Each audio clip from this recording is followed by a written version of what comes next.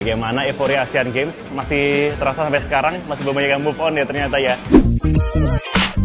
Choi Siwon begitu. Ya memang viral fotonya beda dia sedang jogging dan kemudian selfie tepatnya ada di Jalan Sabang Jakarta. Teman-teman mungkin masih ingat juga ini atlet handball asal Irak Badr Aldin sedang diperiksa paspornya dia bilang sama petugasnya kamu gantang. Kamu ganteng, ganteng, ganteng. Dia juga menyanyikan lagu Indonesia Raya.